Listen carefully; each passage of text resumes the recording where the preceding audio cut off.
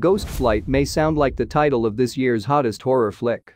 But it is essentially a planned route that an airline continues to fly, despite having few or zero passengers on board. During the current COVID-19 lockdown, thousands of gallons of fuel is burned because of this unnecessarily. It causes loss to both airlines and the environment.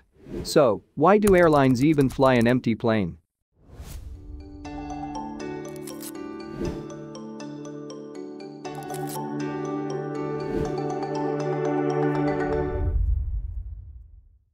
Demand for flights has collapsed across the globe amid growing fears of the COVID-19 pandemic. This has already resulted in a loss of $113 billion from the airlines industry. Before this, the industry was growing at a skyrocketing pace. Even with the capacity offered by over 200 airports worldwide, it was not enough for all the airlines to accommodate their aircrafts upon their will and need. Simply because of lack of proper infrastructure, limited space, and low availability of runways. Most of airports are segmented into slots. Each slot is valid on a specific weekday for a limited period of time. These are allotted to a certain plane of an airline to take advantages of the full range of airport infrastructure necessary to arrive or depart.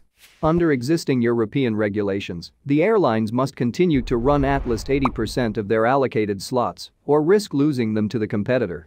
The Federal Aviation Administration of the United States, or the FAA, also enforces a similar type of regulation. When flights have very few to no passengers, the airline exchange or give away the takeoff slot to another airline for some price or for free. This enables the airline to retain its given slots in the long run. This is referred to as the slot resale and slot sitting. But during the current pandemic, there is close to no air travel.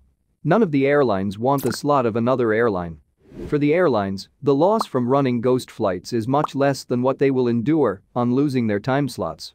This has led to many operators flying empty planes in and out of European countries at huge costs. Air travel already contributes 2.5% of the world's carbon emissions. Ghost flights burn about 20 liters of fuel per mile, emitting one half ton of carbon dioxide for every seat. Even if the seat is empty. It can be said that such a scenario is not acceptable. It is not in the industry's, the passengers, or the environment's interest and must be stopped. Comment if you knew about ghost flights before. Hit the like button and subscribe to the Science Negotiator for more such videos in the future. Click here to view more of our videos. As always, stay happy and keep learning.